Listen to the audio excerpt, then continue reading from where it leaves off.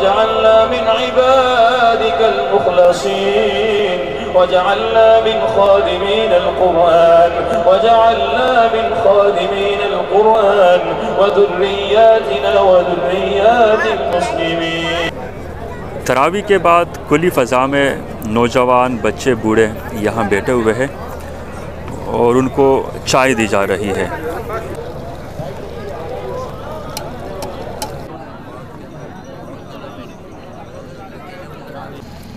वालेकुम दोस्तों, माह रमज़ान में नमाज़ तरावी के इंतज़ाम हर मस्जिद में मामूल की बात है।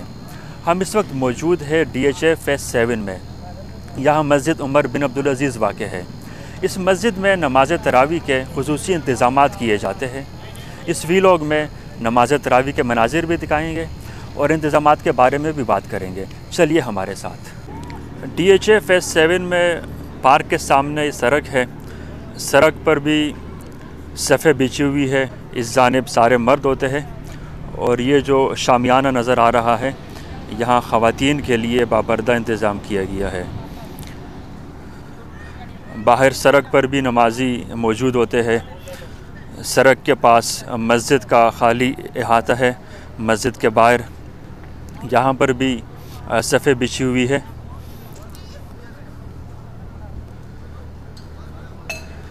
इसी तरह हम मस्जिद में दाखिल होते हैं इंतज़ाम के लिहाज से। ये एक मुनफरद मस्जिद, आप इसको कह सकते हैं। हम मरकज़ी दरवाज़े से मस्जिद में दाखिल हो गए। ये है मस्जिद का सहन। यहाँ पर भी शामियाना लगाया गया है, चूँकि इसको एयर कंडीशन यहाँ एयर कंडीशन आप देख सकते हैं एसी लगे हुए हैं।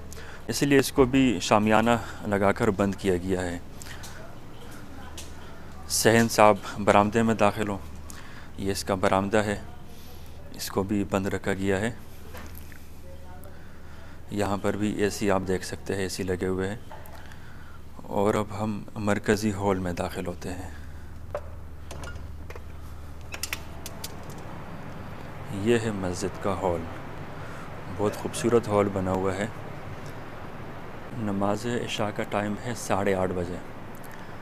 और इस वक्त सात बजकर तिरपन मिनट हो रहे आधा घंटा कबल ही नमाजी हजरात यहाँ मौजूद है, ज़िक्र असकार में, तलावत कुरान में, नवाफिल अदा करने में मसरूफ़ है।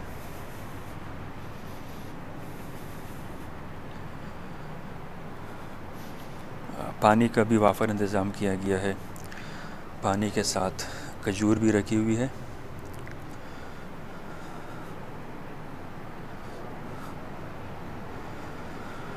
हर तरफ़ ये इंतज़ाम और सहूलतें इस मस्जिद में आपको नज़र आएँगी। आप इस मस्जिद का हॉल देख सकते हैं। इंतहाई वसी और कुशादा हॉल है। ये हॉल भी मुकम्मल भर जाता है। एयर कंडीशन हॉल है।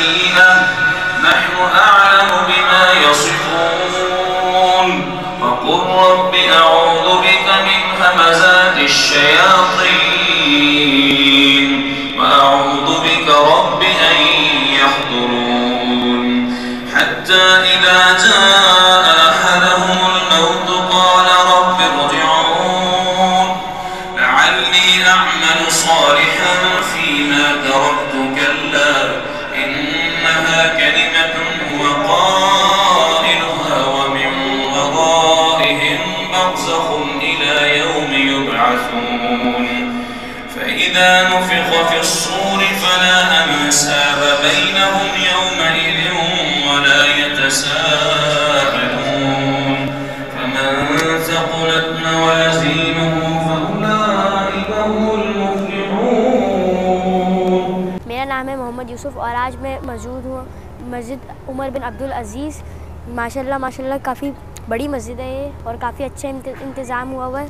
और मैं यहाँ पे हर साल आता हूँ तरावी पढ़ने। माशाल्लाह माशाल्लाह, काफ़ी खूबसूरत इनकी आवाज़ है और इनकी जो आखिर में वितर की दुआ होती है, उसके क्या कहने। मैं हूँ आपका दानियाल शाहिद और आज मैं आपको बताऊँगा इस उमर बिन अब्दुल अज़ीज़ के बारे में और ये ऐसी मस्जिद है, मैंने आज तक ऐसी मस्जिद नहीं देखी और इनकी आवाज़ भी बहुत प्यारी है और ये वितर भी बड़े अच्छे पढ़ाते हैं दुआए के साथ।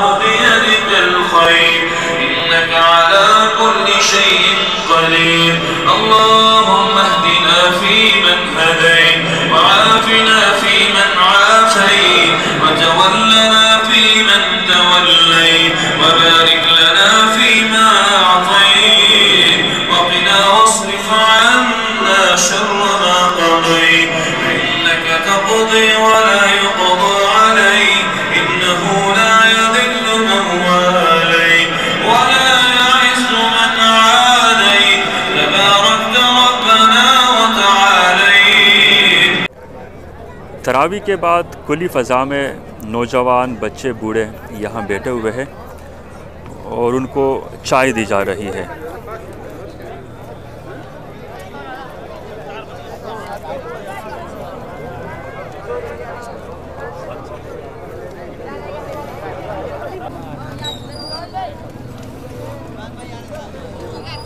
चाय का इंतज़ाम किया गया है।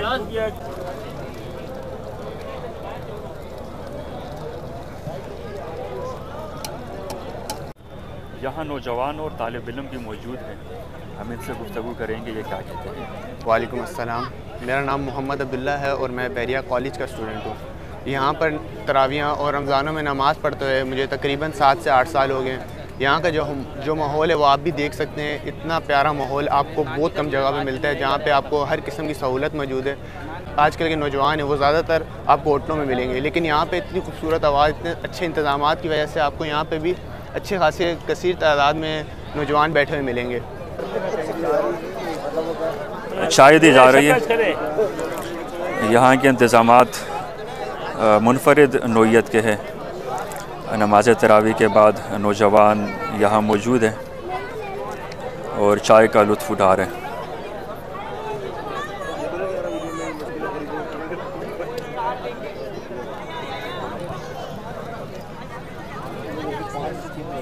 अस्सलाम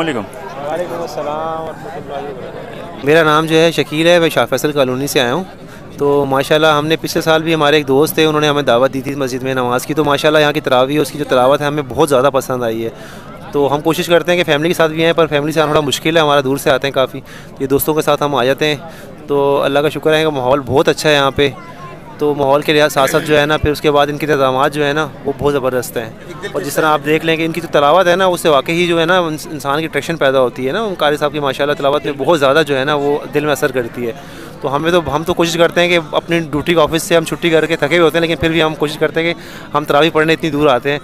तो मेरी रिक्वेस्ट है कि जो लोग सुन रहे हैं तो वो भी एक दफ़ा यहाँ ज़रूर आएँ और इन अगर एक दफ़ा वो यहाँ पर नमाज़ पढ़ेंगे तो इन वो नेक्स्ट ईयर जो है ना अपनी फैमिली के साथ दोस्तों के साथ और उनको और दोस्तों को भी गाइड करके यहाँ लेकर आएँगे इन नमाज़ तरावी के बाद यहाँ कुछ अहबाब मौजूद हैं हम इनसे भी गुफ्तु करेंगे। अस्सलाम वालेकुम। जुलकरनैन इसाक नाम है मेरा मैं कुरंगी क्रॉसिंग से आया हूँ यहाँ पे जैसा कि हर साल आता हूँ। बहुत अच्छी आवाज़ है इनकी बहुत अच्छी आवाज़ में किरत करते हैं। दिल को छू लेने वाली उनकी जो आवाज़ होती है। रमज़ान में नमाज़ तरावी के बाद नौजवान बाहर होटलों पर बैठे रहते हैं। चाय पी रहे होते हैं गपशप लगा रहे होते हैं लेकिन कुछ नौजवान यहाँ भी बैठे हुए हैं जो मस्जिद के अहाते में मौजूद हैं। हम इनसे गुफ्तु करेंगे और ये जानेंगे कि नौजवान बाहर चाय पी रहे हैं होटलों पर और आप यहाँ मस्जिद में बैठे हुए हैं। इसकी क्या वजह है? मेरा नाम साद अब्दुल्ला है और मैं काला पुल का रिहायशी हूँ। हमने यहाँ पे नमाज़ तरावी पढ़ी, माशाल्लाह कारी साहब की बहुत अच्छी आवाज़ है। और उसके बाद हम अपने दोस्तों के साथ यहाँ बैठ के गपशप भी करते हैं, चाय वगैरह पीते हैं। इस तरह एक दूसरा मरहला भी है जहाँ पे लोग होटलों पे बैठ के चाय पीते हैं, साथ पान गुटका भी खाते पीते हैं। तो मेरा आपसे यही मशवरा है कि यहाँ आएँ, यहाँ आपको बहुत अच्छा माहौल मिलेगा। हम उस माहौल से बचे हुए जहाँ पे लोगों की जहनीत ख़राब होती है, सेहत ख़राब होती है।